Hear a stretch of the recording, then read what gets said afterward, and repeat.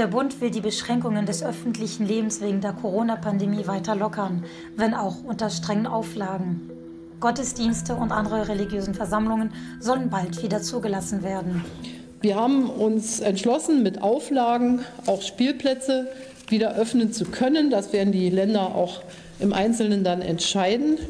Und unter Auflagen auch die Kultureinrichtungen wie Museen, Ausstellungen, Galerien, Gedenkstätten oder zoologische und botanische Gärten. Von diesen begrenzten Lockerungen abgesehen, sollen die derzeit geltenden Corona-Auflagen mindestens bis zum 10. Mai in Kraft bleiben, darunter auch die Kontaktsperren.